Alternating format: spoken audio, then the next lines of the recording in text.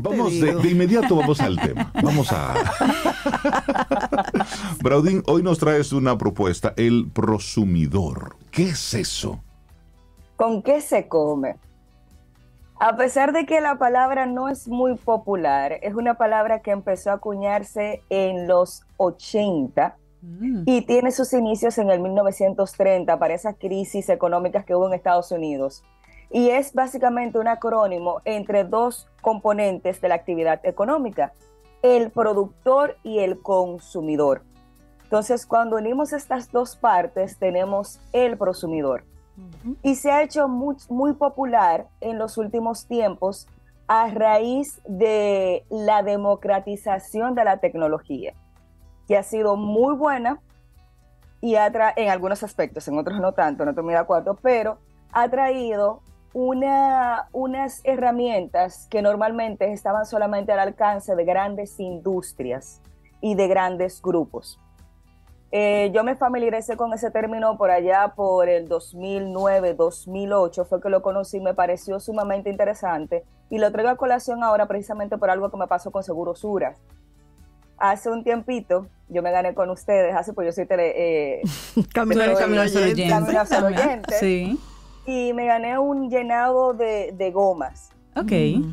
Sin embargo, la forma en la que Sura, sin saber que yo venía de Camino al Sol, me recibió, me trató desde la llamada por WhatsApp hasta la llamada telefónica, hasta las atenciones, fue uno a al punto de que yo estoy esperando así por hora que se venza mi seguro para yo cambiarme e irme para allá. Uy, qué bueno. Qué bueno, una muy buena referencia.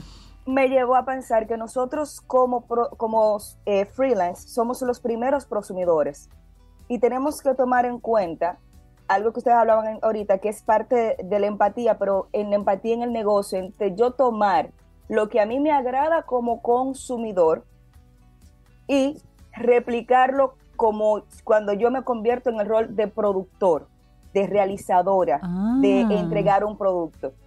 Yo me sentí tan bien con el servicio al cliente que me dieron en esa institución que es algo que no me cuesta, de que yo no tengo que comprar un equipo, yo no tengo que comprar una máquina diferente, yo no tengo que tomar un entrenamiento adicional que yo puedo aplicar dentro de mi rubro económico, dentro de mi área de trabajo. Entonces, eso me llevó a pensar en esto, en lo que es el prosumidor, en lo que tenemos que tener como consumidores y como productores para mejorar la experiencia de quienes se acercan a nosotros. El prosumidor básicamente se ha destacado en cuatro ámbitos importantes dentro de la historia y sobre todo a partir del desarrollo exponencial de las redes sociales y las plataformas digitales. Una que yo sufro, pero es la que más se ha venido desarrollando, es la parte del audiovisual donde ya tú no tienes que contar, por ejemplo, con una un switcher de dirección extremadamente caro que vale millones de dólares para tú hacer televisión. De hecho, a mis estudiantes yo se lo digo cada rato, señor, usted tiene una ventaja que yo no tuve cuando estudié. Cierto. Usted por unos 550 dólares entra a VIH, se compra un switcher de dirección pequeñito, pero le sirve para tener dos cámaras y hacer el contenido que usted no encuentra en televisión o que no encuentra en, en, la pantalla. O sea, usted puede generar su, su, contenido. No necesariamente el consumidor, a diferencia del freelance, tiene una, una recompensación, una compensación económica, pero sí tiene una compensación emocional, que es hacer lo que él entiende que hace falta. Otro ámbito en el que el prosumidor se ha destacado muchísimo y también y ese sí se ha convertido en una herramienta muy importante de, emprendimientos y de freelance, es en el hágalo usted mismo, en la personalización de las cosas. Antes yo tenía que conformarme con la blusa como viniera, la compro en la tienda y ya está. Pero ahora hay equipos de máquinas de coser, hay aparatitos para tejer, hay muchísimas herramientas que han permitido que yo personalice, no solamente para mí, sino para otras personas, con las mismas inquietudes que yo, una camisa, los sombreritos aquí que son muy populares de eso de a la playa que tienen tu nombre, eh, los, incluso hasta zapatos. Obviamente son mucho más complicados, pero está ahí. Entonces, Eh, otra de parte importantísima también es ha sido la informática. Señores, nosotros conocemos una de las plataformas de informática más importantes y es un trabajo prosumidor, que es Linux. Totalmente. Linux es un trabajo prosumidor 100%, o sea, son personas que consumen y producen el producto. Y hay uno que usamos, yo creo que todo el mundo, todo el que tiene acceso a la tecnología prácticamente todos los días, a nivel informático también, y es Wikipedia. Wikipedia es una de las herramientas de prosumidor más importantes a nivel de desarrollo de, información. Tiene su problemita porque hay gente que te pone ciertas cosas. Claro, cuando tienes una, algo tan abierto. Pero hay una, supervisión, una, una curaduría. de personas que va revisando lo que los usuarios van creando y fíjate que él le pone notas. Aquí se necesita una cita, esto no está bien documentado, esto no cumple con el manual de Wikipedia, o sea que hay gente detrás. Un trabajo colaborativo Claro, claro. Sí, pero sin embargo, no todo el mundo llega hasta el fondo para leer mm. el asterisco que dice esto, no que sé cuánto, pero sí es un trabajo de colaboración bastante importante en donde yo, además de consumir la información, yo desarrollo información. Y eso lo vemos también, tenemos Instagram, o sea, en distintos aspectos la agricultura también se ha visto muy permeada por el prosumidor, sobre todo cuando hablamos de los huertos urbanos, donde ya nosotros sembramos nuestras propias, nuestros propios alimentos, nuestra comida. Entonces, la idea de uno como freelance es que todo esto tenemos que verlo desde el punto de vista de nuestro negocio, de lo que yo hago, de cómo yo como consumidor necesito algo que tal vez el mercado no me está brindando o me lo está brindando de una manera que no es correcta o tal vez las actitudes que tiene esa persona que me da el servicio no es la que yo entiendo que debería ser.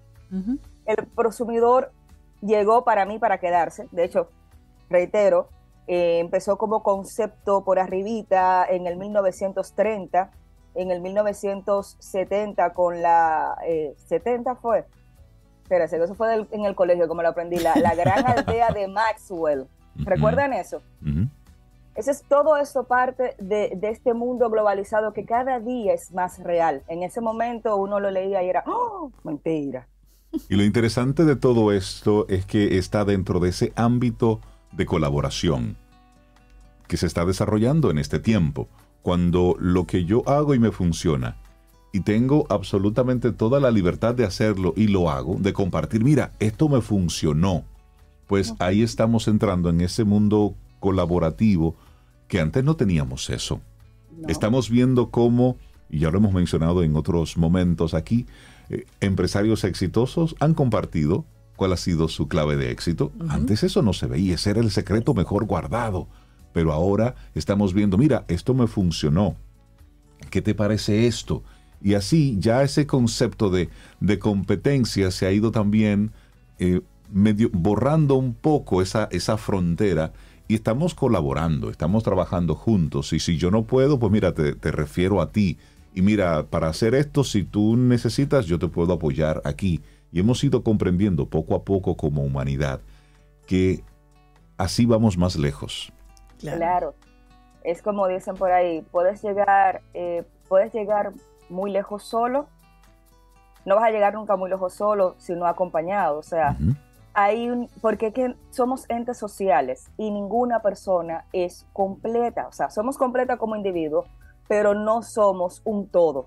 Nosotros nos complementamos. O sea, y de hecho hemos desarrollado el mundo a nuestro alrededor de manera complementaria. El enchufe necesita una cosita en la pared para entrar y funcionar. Claro, ahí ve. Es así, es necesario. Prosumidor. Interesante este concepto. Sí, y de hecho, hay empresas, hay una que se me había olvidado, pero que para mí es una de las más exitosas a nivel en República Dominicana, sobre todo. Bueno, en el mundo, pero en República Dominicana hay mucha gente que le ha sacado muchísimo y de hecho invierte en eso, que es el Airbnb. sí. Airbnb es una empresa es un desarrollo de prosumidor, porque tú tienes, tú pones a tu disposición tu casa para que otras personas vengan. Pero esa persona también que va, por ejemplo, yo puedo tener un Airbnb, pero yo puedo usarlo también, porque yo agarro y me voy, por ejemplo, a, otro país o me voy aquí a, a Constanza no tengo una casa, pero tengo acceso a una a través de esa herramienta. Al final de cuentas es eso, es esa colaboración y yo le llamo colaboración empática, en la que tenemos que buscar lo que hace falta, colaborar con otros y, y darle a nuestro consumidor lo que nosotros necesitamos y queremos también consumidor, porque al final de cuentas todos somos consumidores. Definitivamente. Es así. Buenísimo el tema que nos compartiste hoy, el prosumidor, que es cómo se relaciona con el freelancer. Fue la propuesta que nos compartió hoy Braudina Eusebio. La gente que quiera conectar contigo. Braudin es una productora audiovisual muy buena, con mucho trabajo, pero siempre está abierta para más, porque como todo buen freelance, siempre un nuevo proyecto es bienvenido. Claro. Braudin, la gente que quiera conectar contigo. Bueno, a través de mi email, braudin.gmail, sí, así mismo como se escribe, no se tienen que complicar, no se queda como, ¿qué? Sí, braudin.gmail, braudin.yahoo, braudin lo que usted quiera, pero yo uso mal Gmail. No hay otro.